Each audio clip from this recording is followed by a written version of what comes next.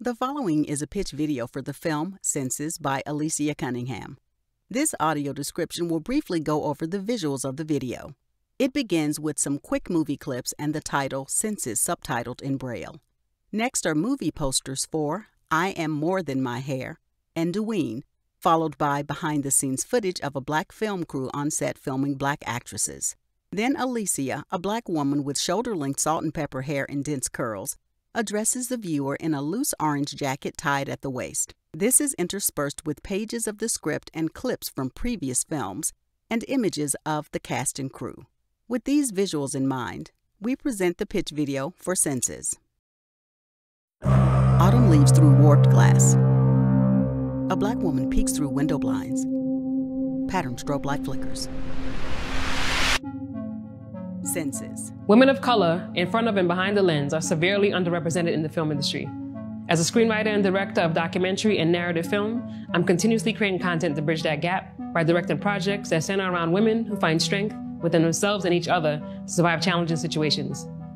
My name is Alyscia Cunningham, and I'm the writer and director of Senses, a thriller short about two friends, one blind and the other deaf, who fight for their lives after a robbery gone wrong I really want to portray two women whose disabilities are not inabilities and they're not damsels in distress.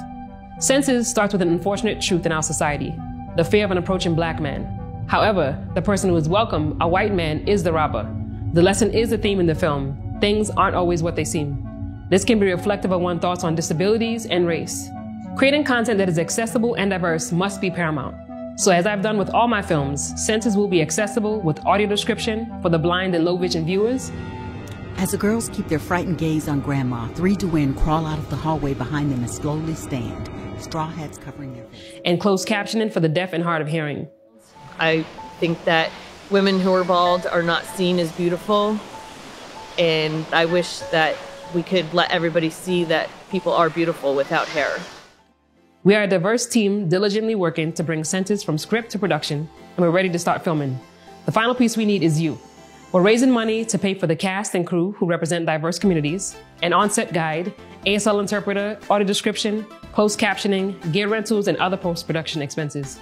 By supporting my film, you're supporting an independent project written, directed, and acted by those underrepresented in the film industry, women of color, and you're helping bring authentic representation to the screen.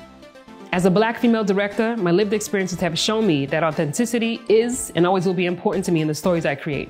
So with your financial contributions, Senses can continue raising the bar for authenticity and inclusivity in the film industry. Thank you for your support, and remember, things aren't always what they seem. Light trickles through window blinds. Senses. Filming this fall.